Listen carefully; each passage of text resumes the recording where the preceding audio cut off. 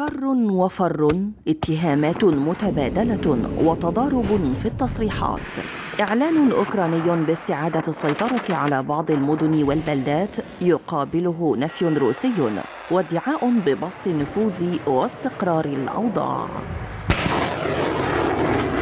هكذا بدأت الأمور منذ بداية العملية العسكرية الروسية ضد أوكرانيا ومع بداية الهجوم المضاد الذي بدأته كييف في يونيو الماضي. تتواصل التصريحات باستعادة أجزاء كانت تحت السيطرة الروسية. قيادات عسكرية أوكرانية أعلنت استعادة السيطرة على سبعة كيلومترات مربعة من القوات الروسية خلال الأسبوع الماضي.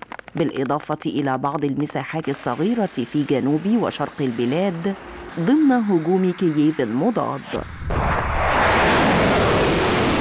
كما أعلن الجيش الأوكراني على لسان قادة فيه استعادة السيطرة على قرية كليشتشيفيكا القريبة من بخموت شرقي البلاد.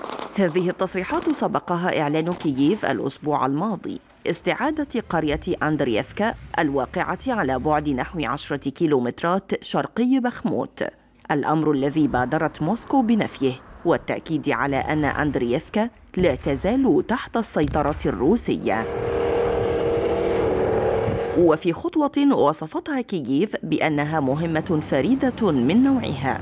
أعلنت المخابرات العسكرية الأوكرانية قبل أسبوع فقط استعادة السيطرة على منصات بحرية للتنقيب عن الغاز والنفط قرب شبه جزيرة القرم. وبالرغم من إعلان استعادة بعض الأراضي تبقى نتائج الهجوم الأوكراني المضاد دون المتوقع. فهل تستطيع كييف مساعدة حلفائها الغربيين في تسريع وتيرة الهجوم وإنهاء الصراع أم أن الأوضاع ستبقى كما هي الآن؟